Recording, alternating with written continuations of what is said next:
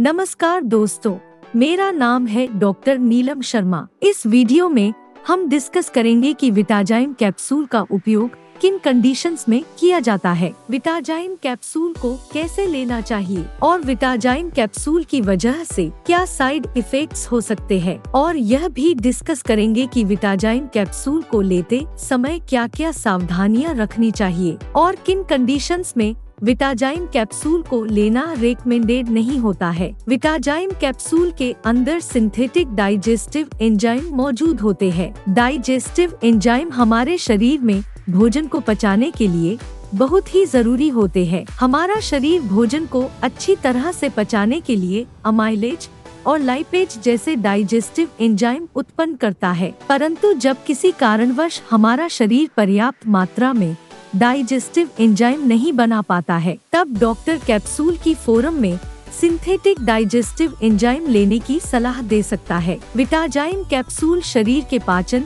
तंत्र को मज़बूत बनाता है और कार्बोहाइड्रेट फैट और प्रोटीन को शरीर में अच्छी तरह से पचाने में मदद करता है। इसके अलावा विटाजाइन कैप्सूल भूख को भी बढ़ाने में मदद करता है और जिन व्यक्तियों को पेट भरा भरा हुआ महसूस होता है, उन व्यक्तियों के लिए भी विटाजाइन कैप्सूल बहुत ही फ़ायदेमंद होता है। विटाजाइन कैप्सूल का उपयोग पेनक्रियाज के रोगों में, कई प्रकार के पेट के रोगों में, पेट में गैस बनने पर, बदहजमी होने पर, भूख बढ़ाने के लिए और जिन व्यक्तियों को सीने में जलन रहने की समस्या रहती है, उन व्यक्तियों को भी डॉक्टर विटाजाइम कैप्सूल को लेने की सलाह दे सकते हैं, क्योंकि विटाजाइम कैप्सूल पाचन तंत्र को मज़बूत बनाकर पेट में गैस बनने की समस्या को कम करता है। कुछ व्यक्ति पूछते हैं कि क्या विटाजाइम कैप्सूल वज़न को बढ़ाता है या नहीं? देखिए, विटाजाइम कैप्सूल सीधे तौर पर वज़न को नहीं बढ़ाता है। विटाजाइम कैप्सूल केवल आपकी भूख को बढ़ाकर और पाचन तंत्र को मज़बूत बनाकर वज़न को बढ़ाने में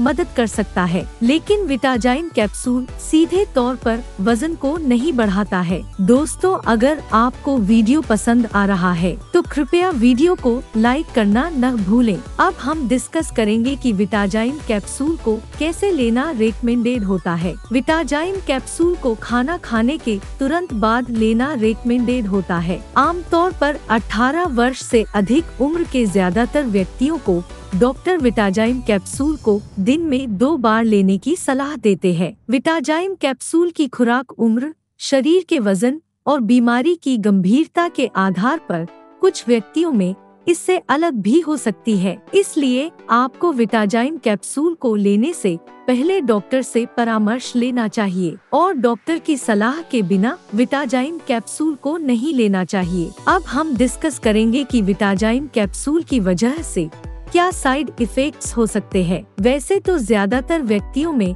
विटाजाइम कैप्सूल की वजह से कोई साइड इफेक्ट्स नहीं होते हैं, लेकिन कुछ परसेंट व्यक्तियों में विटाजाइम कैप्सूल की वजह से कुछ सामान्य साइड इफेक्ट्स हो सकते हैं, जैसे उल्टी आना, उल्टी आने का मन होना, त्वचा पर रैशेस, दस्त और कब्ज की समस्या हो सकती है। अब हम डिस्कस करेंगे कि विटाजाइन कैप्सूल को लेते समय क्या क्या सावधानियाँ रखनी चाहिए और किन कंडीशंस में विटाजाइन कैप्सूल को लेना रेकमेंडेड नहीं होता है। लिवर और किडनी की कोई बीमारी होने पर विटाजाइम कैप्सूल की खुराक घटानी पड़ सकती है। इसलिए लिवर और किडनी की कोई बीमारी होने पर इसके बारे में डॉक्टर को बताना चाहिए। अब हम जानेंगे कि क्या प्रेग्नेंट महिलाएँ और स्तनपान करा रही महिलाएँ विटाजाइन कैप्सूल को ले सकती है या नहीं। प्रेग्नेंट महिलाओं के लिए विटाजाइन कैप्सूल का सेवन करना रेकमेंडेड नहीं है और स्तनपान करा रही महिलाओं को भी